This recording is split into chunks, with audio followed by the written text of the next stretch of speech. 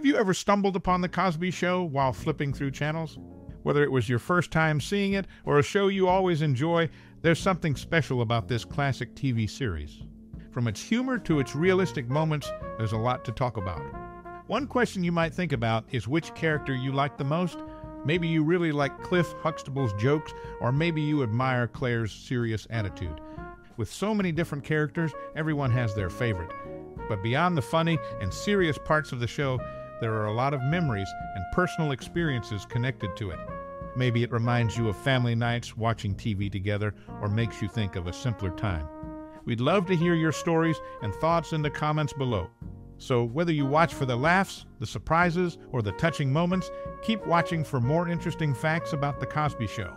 And don't forget to share your own experiences with us. In the exciting world of 1980s TV, a special show emerged that really caught people's attention. The Cosby Show was not like the others.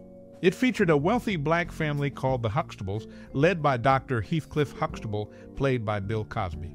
This show stood out because it showed a successful black family dealing with everyday life. What made The Cosby Show special wasn't just that it was fun to watch, but also how it affected society. It broke stereotypes and had a lot of different characters, like the career focused lawyer Clair Huxtable and the playful but lovable Theo Huxtable. Through its funny and heartwarming moments, the show connected with people from all backgrounds. It got people talking about race, families, and what's normal in society. The Cosby Show wasn't just any old show, it was really important. It paved the way for more diverse TV shows and inspired lots of future ones.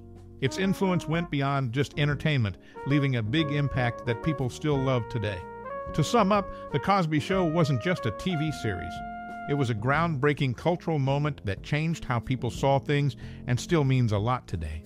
The Cosby Show's fifth season featured a rendition by the Oregon Symphony Orchestra, conducted by James DePriest, an African American conductor. DePriest, who conducted the orchestra from 1980 to 2000, was asked by Bill Cosby to compose a new theme arrangement. Interestingly, DePriest was not only a nephew of opera singer Marian Anderson, but also a high school friend of Cosby.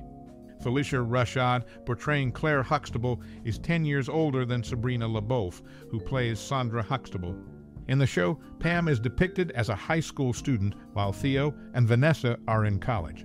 In real life, Erika Alexander, who plays Pam, is one year older than Malcolm Jamal Warner and four years older than Tempestt Bledsoe, who portray Theo and Vanessa, respectively.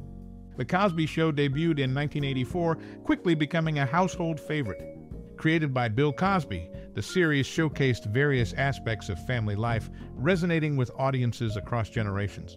One notable element of Cosby's career is his academic achievement. In 1976, he earned an honorary doctorate in education from the University of Massachusetts at Amherst. His dissertation focused on integrating visual media into the elementary school curriculum using his earlier work, Fat Albert and the Cosby Kids, as a teaching tool. During its early years, The Cosby Show gained popularity among younger viewers, particularly for Rudy, one of the Cosby children. In fact, some fans affectionately dubbed the show the Rudy Show due to her popularity. The Cosby family also faced challenges such as dyslexia, which affected several members. While Bill Cosby himself didn't inherit it, his brother Russell did, discovering it in adulthood. Additionally, Cosby's son Ennis struggled with dyslexia, but managed to overcome it, eventually graduating from college. Overall, The Cosby Show not only entertained audiences, but also tackled real life issues, making it a beloved and influential series in television history. In later seasons, he wore a black button with the initials SDJR as a tribute to his close friend Sammy Davis Jr., who died during the show's run. He was given an honorary Chief Petty Officer title by the Navy in 2011, but it was taken away because of serious accusations of sexual abuse that went against Navy values. He joined the Navy in 1956 and worked as a hospital corpsman for four years before leaving with an honorable discharge as a third class petty officer in 1960. Additionally, he stepped down from his position on Temple University's Board of Trustees in December 2014. He often improvised his lines, especially during solo scenes as Cliff. The Cosby Show, a popular TV series from the 1980s, showcased various interesting facts throughout its run. In the early seasons, Theo, one of the Huxtable children, had a poster of the British pop group Five Star on the back of his closet door. Interestingly, Five Star comprises siblings, much like the Huxtable children themselves. The exterior shots of the Huxtable's house were filmed at 10 St. Luke's Place in Manhattan, although the show is set in Brooklyn. This slight geographical discrepancy went unnoticed by many viewers. Another intriguing aspect of the series is the character Kenny's brother, who is often mentioned but never shown on screen. This subtle detail added depth to the storyline, leaving viewers curious about Kenny's unseen sibling. These facts add layers to the already rich narrative of The Cosby Show, offering viewers insights into the characters' lives and backgrounds without being explicitly stated in the dialogue or plot.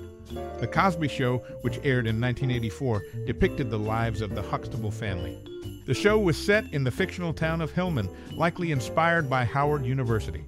Bill Cosby, known for his role as Cliff Huxtable, attended Temple University in Philadelphia, not far from the Hillman Medical Center at the University of Pittsburgh. In June 2021, the Pennsylvania Supreme Court overturned Bill Cosby's 2018 conviction for indecent sexual assault against Andrea Constand. The court cited violations of his constitutional rights, leading to his release from prison. Despite his acclaimed performance, Cosby never pursued Emmy nominations for his acting. He personally opposed competition among performers. The Cosby Show, despite its controversies, remains a significant part of television history.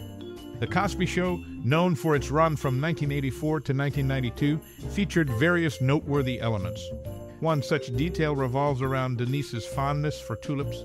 In the series finale, And So We Commence, broadcast during the 1992 LA riots, Bill Cosby, in a poignant moment, urges for an end to the violence plaguing the streets. Despite Cosby's emphasis on education, his personal educational journey contrasts sharply. Unlike his character's advice, Cosby didn't excel academically, dropping out of high school at 15 to follow his father's footsteps into the military. This dissonance highlights the disparity between Cosby's on screen persona and his real life experiences, adding depth to his character portrayal. In the mid 1980s, The Cosby Show, a popular TV series, stood out for various reasons. In its early episodes, a character named Theo wanted to buy an expensive shirt designed by Gordon Gartrell. Surprisingly, the real Gordon Gartrell had different roles in the show and eventually became a producer later on. At its peak, the show's creator, Bill Cosby, pushed for a spin off series called A Different World to air right after The Cosby Show instead of Family Ties. He wanted better portrayals of African Americans on TV, leading to this change. However, it caused a 20% drop in viewers for The Cosby Show and contributed to the decline of Family Ties, which got canceled in 1989.